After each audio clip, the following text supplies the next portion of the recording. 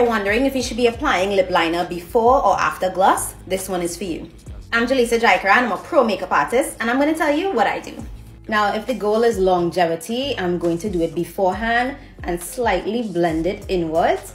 And this is going to help the lip gloss to have something just to adhere to so it'll last longer. Then you add your gloss over it.